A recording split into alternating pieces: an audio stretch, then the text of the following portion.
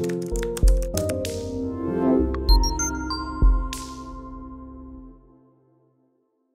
everyone, this is Elijah with Financial Anatomy, coming at you with another video to help you take control of your financial destiny.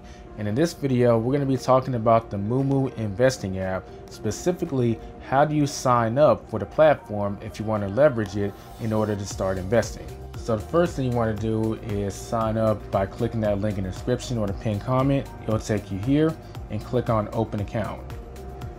You'll then be taken to this screen where Moomoo is letting you know that you're going to need a social security number, valid US address, and you're going to need to let them know your employment status if applicable. So you want to click next unless you're not a US resident and you hit I'm not a US resident. From here, you want to go ahead and enter your date of birth, social security number, and also your address. Then click next. Once you're here, you just type in your phone number, it's gonna send you a verification code. You put that in and press submit. This is where the onboarding process starts. So you wanna put in the information, including your name and your citizenship. From here, I'm not gonna go through the whole terms and agreement. You can read that on your own time. But once you've gone through it, you click submit.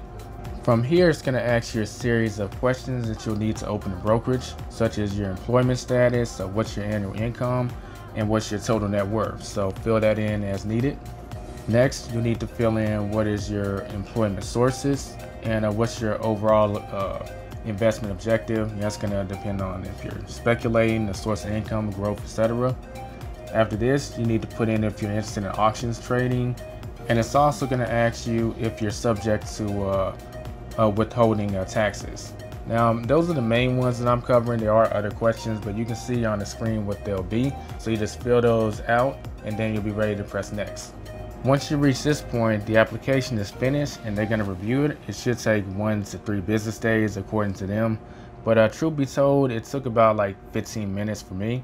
And once you've been approved, the app is going to let you know that you've been approved and then you can move on to the next step. But just be mentally prepared for one to three business days, as they say. Now, once that's finished, you'll need to open the app and it should let you know that your account has been approved, but you need to set up your password.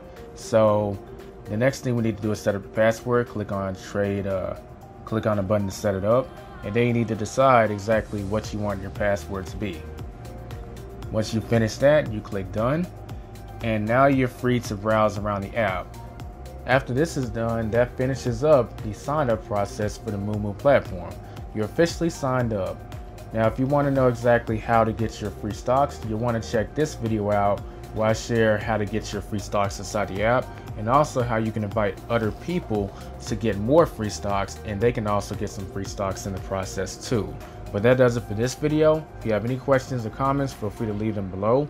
Don't forget to subscribe if you're new and hit that bell notification if you want to be notified when another video drops about Moomoo. And if you haven't done so already and you'd like to, you can sign up for Moomoo and get your free stocks using the link in the description and also in the pinned comment. I'll catch you in the next video. Don't forget to get out there and take control of your financial destiny.